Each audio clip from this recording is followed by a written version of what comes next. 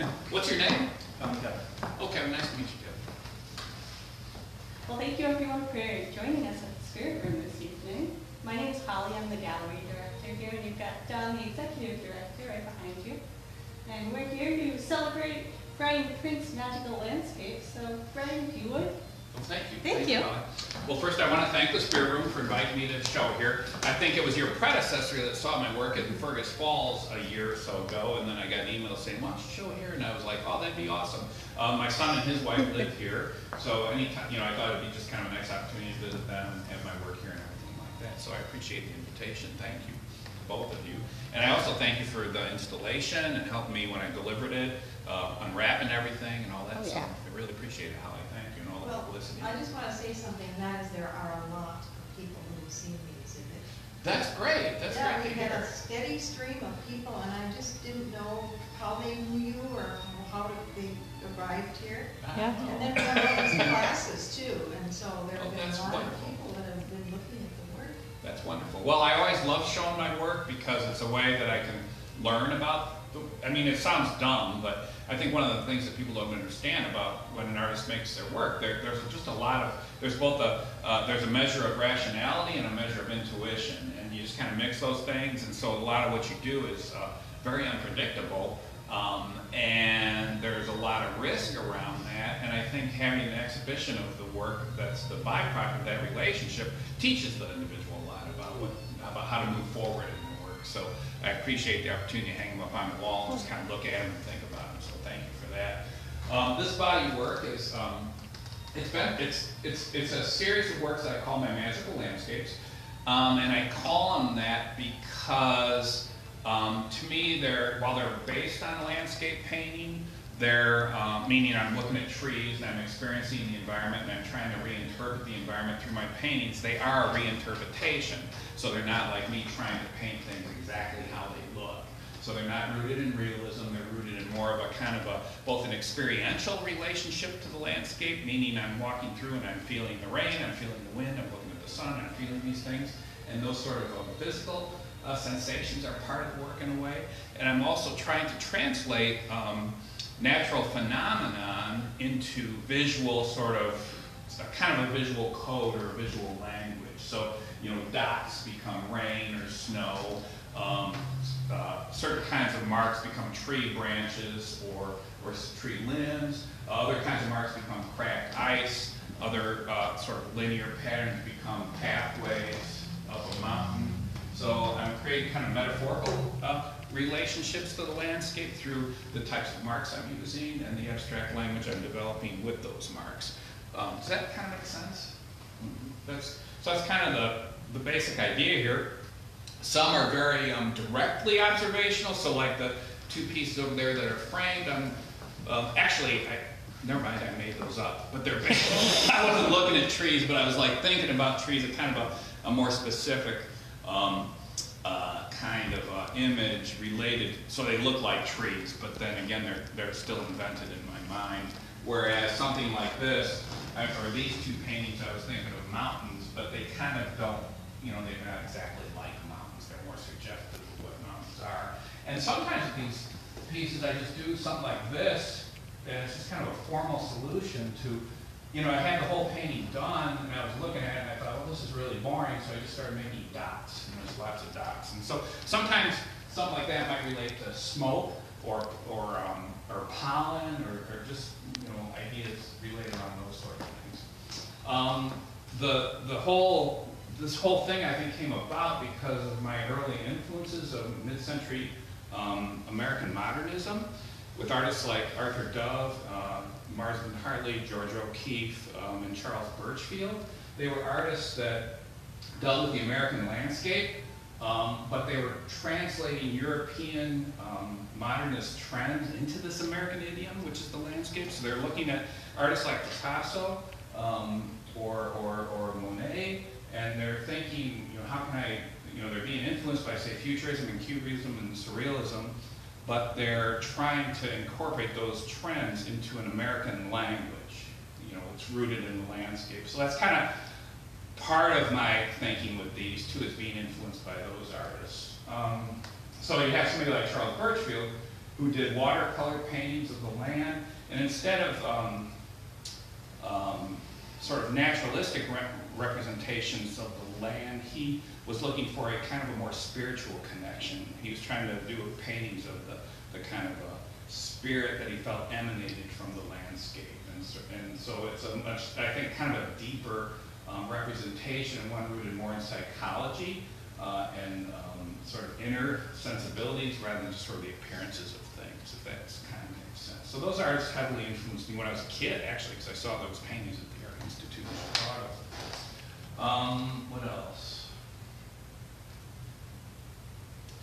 I think even there's certain uh, processes I use. For example, in a lot of them, there's like kind of this poured and dripped thing. So I do. I've been doing this a lot lately. And to me, like where I just run paint across the top and let it run down. And this is my way of sort of asserting gravity. You know, it's like this gravity is a force that um, we all obviously have to deal with all the time, and we don't even think much about it. Um, and so, you know, I just let, let the paint kind of run to, again, assert this notion of, of it, it becomes kind of a, the, the, the, the material is responding to the physical, or the, the even the kind of um, natural elements to kind of directly on that surface, if that makes sense. Just the, the, the paint running, so it's a way to kind of assert that. Um, other images I use, like this, this painting I call Sunset and Cracking, because I'm thinking about the sunset, I'm thinking about the sunset on a, on a plane of ice, and the ice cracking, so there's this metaphor of cracking and peril and change and stuff like that in a painting like that, that I'm kind of thinking about. Um, so I guess some of the images are directly connected to nature, like ice cracking, and other images are just purely formal. Again, like just sort of dots to make something interesting in these. So, um, other questions? Is your background as an art, uh, art educator? hmm Oh. Well, I don't know. Yeah, kinda. I've been teaching a long time. Oh, good. Yeah. Why is that? No, I was just wondering because of the way you talked about art. Oh, well, um, I felt that was kind of incoherent, so. I'm like, oh, okay. I was- So I'm glad it, sounded- it had a certain coherence to it that suggested that to you. Thank you. Thank you. And did you teach at Mankato then? I still do. Yeah, Oh, I teach do? painting and drawing there. Yep. Oh, great. Yeah, yeah. Um, Is that the master's level or is that the? I teach the raw beginners to the graduate students. Yeah, the Wow. whole range. Yeah. That's yeah. fantastic. It's one of the pleasures of the job, actually. So I, did- yeah, I really enjoy teaching, just introducing people to the idea of art. So, yeah. Oh, that's pretty fantastic. Yeah, thank you. Yeah, I enjoy it. So you were saying that at the beginning of all of this, that Mhm. you feel like the process is pretty intuitive and you just kind of go into it, you don't really have a plan at all? No, I, I never have plans.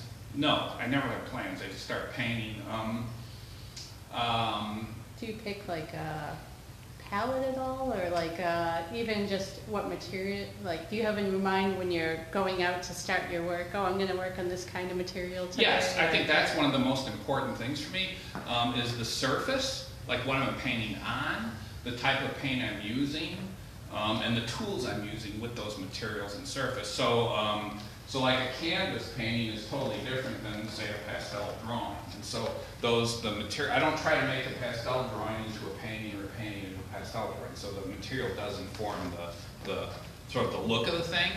And I'm not really, the other thing I think that's really weird about me is I really, uh, my teachers used to tell me to settle down. You know, like I'd be like working in about hundred different directions. And I remember my teachers saying, you gotta just focus on one thing, right? And I never agreed with that. Even when I was like 18, you know, they'd say, you just need to do one thing and concentrate. And I'd be like, why? It didn't make any sense. And it took me about probably, uh, when I started my series of pet portraits, which are on my website if you're interested, but I did this a couple years, a few years ago, I did a whole series of big pet portraits. And that sort of freed me from this idea of thinking I had to just do one thing.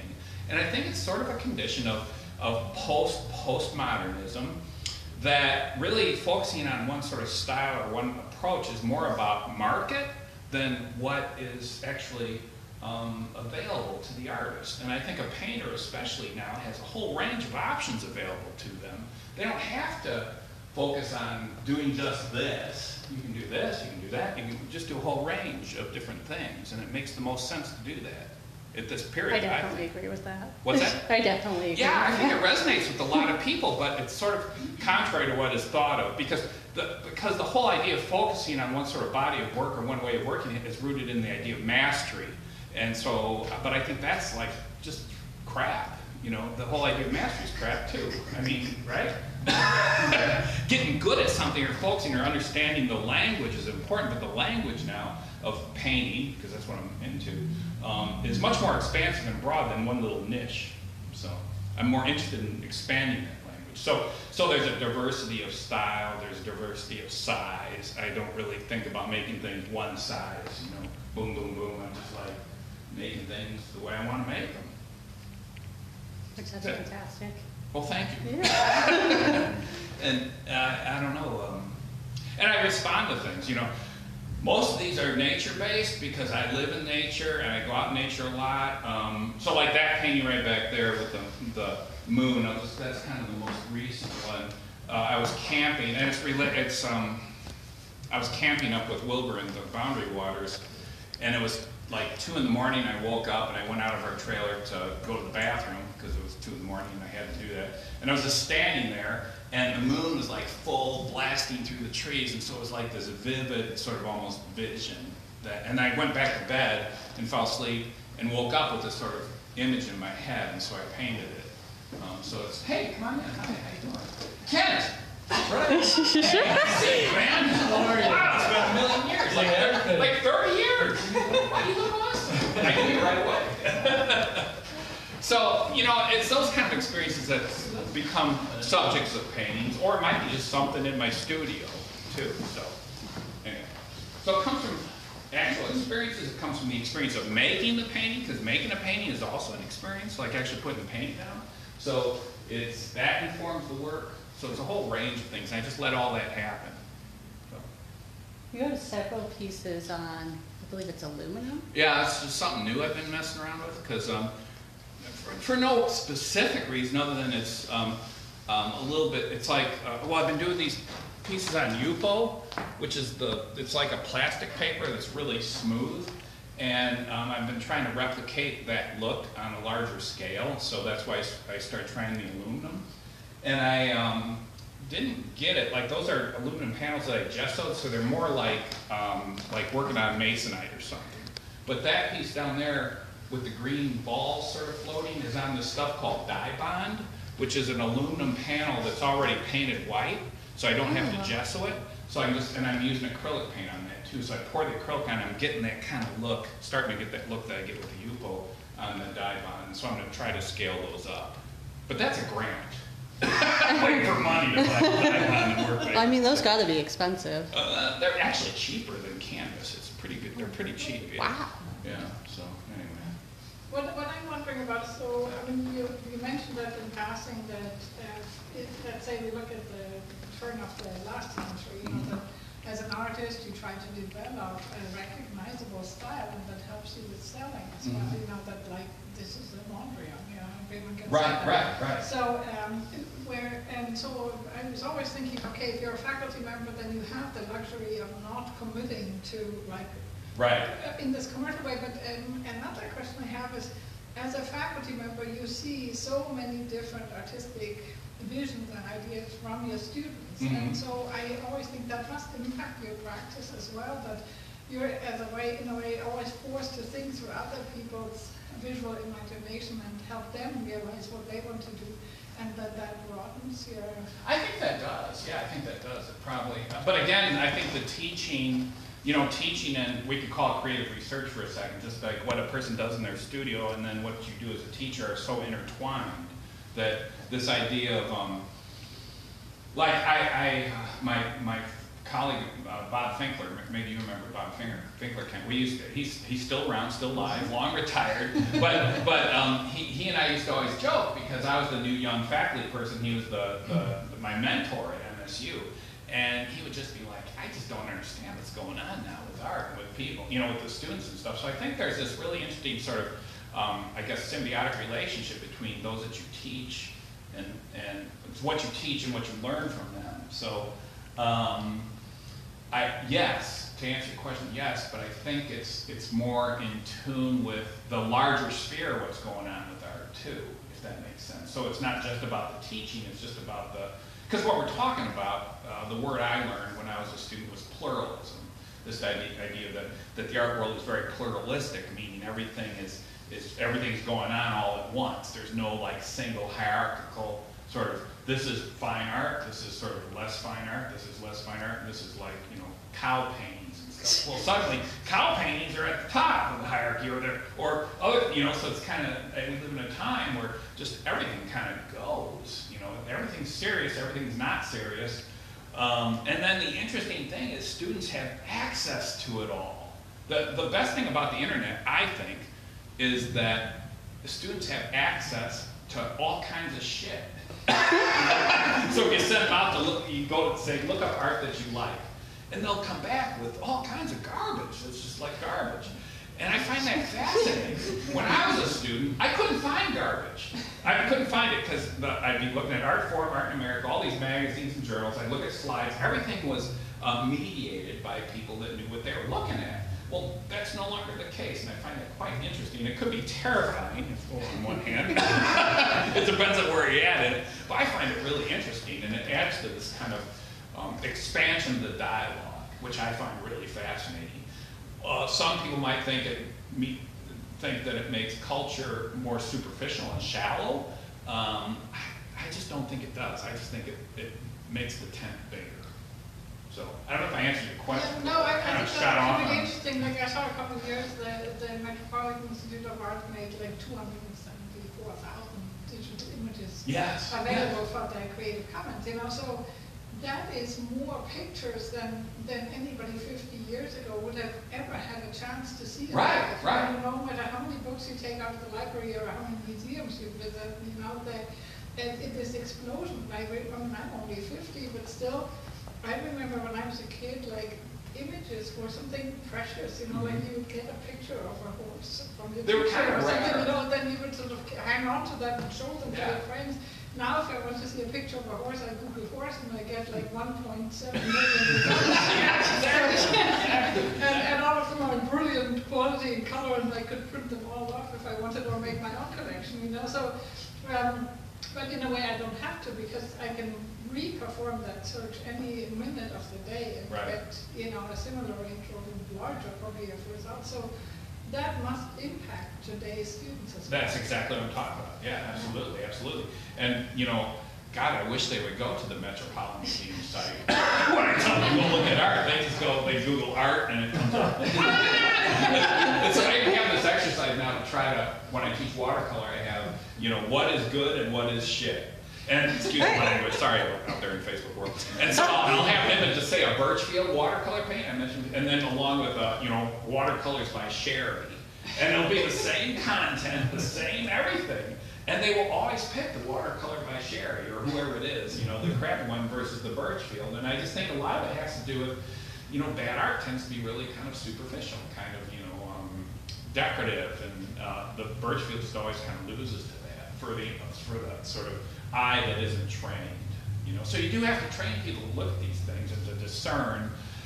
In, in that sense, I think it's probably a good thing to just get at it, you know, to like let them look up all the junk online and just kind of work with them as best you can. And, and then there's also, on the other hand, I'll just kind of think, well, there's a certain beauty in the um, richness of what you're talking about. The 10 million pictures of horses, there's something amazing about that fact, you know, that I love too, uh, as a creative person. So it's definitely impacting. And I think this idea that I, you know, my own attitudes about the diversity of my work and my lack of interest in focusing on kind of one thing um, is um, sort of indicative of that state of mind, perhaps. And, you know, we just don't have to anymore. We have access to so many tools and so many images and so many, we just don't, as artists, as creative people, we don't have to, um, have to just kind of focus on one thing. So I, I just, it fits in with the way I am, I guess. So, I don't know. But then on the other hand, I can argue that there's a certain kind of stylistic convention that I deal with in you know, body of work, and that there, is a, there are a lot of um, um, um, connections between my, say my pet portraits and this body of work, there, there are connections there. So, because I'm making them. Well, that's wonderful. Yeah, is that long enough? Oh, that's perfect. Okay. Does anyone else have any other questions? Yeah, you have any other questions or anything? No? Well, thank you so much for talking to tonight. My pleasure. Can we, uh, yeah.